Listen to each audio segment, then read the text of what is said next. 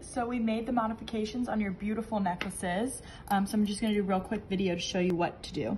So this little piece goes with both, both of the diamonds. So all you need to do to connect them is, let's see, you just slide it on this. Make sure it's pulled forward. That makes it a little bit easier to clasp. And then you see the hoop. You just goes on. And you're gonna wanna clasp it from the bottom until it snaps. And so there, see it snapped on.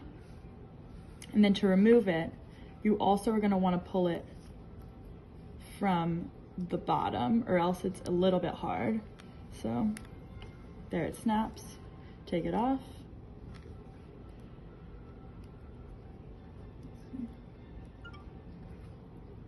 And the same for this stone.